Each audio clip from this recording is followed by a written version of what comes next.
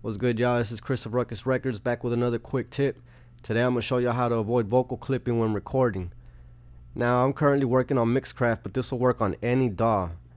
Now a lot of the times when I receive vocals from artists who need their music mixed I notice that their volumes are way too loud.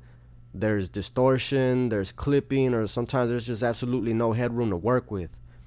Now, when I bring this up to the artists, I usually get the same response, which is, well, Chris, it's because I can't hear myself when I'm recording, so I turn the volume up on my audio interface. I hear you, but that's why it's distorting and that's why your vocal's clipping. Now, let me cut to the chase. All you have to do is turn down the volume on your beat. It's as simple as that, guys. Now, I usually like to turn my beats down to about negative 10 dB, so let me go ahead and do that right now. Now you'll notice that after you do this, you don't have to turn up that gain knob so much on your audio interface. That's going to give you a cleaner level, you know, a cleaner volume on your vocals. You know, it's going to give your mixing engineer a lot more headroom to work with.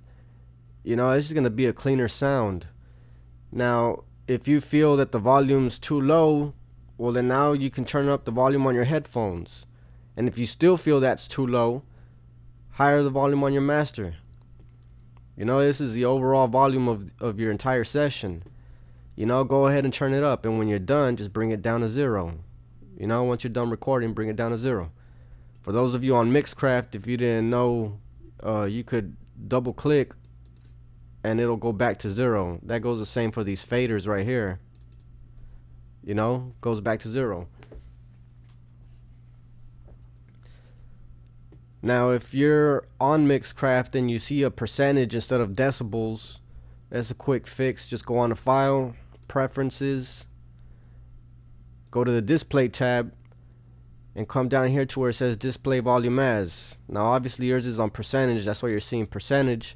Just click decibels and hit OK. You know, and it's as simple as that, guys. Just lower the volume on your beat. Alright?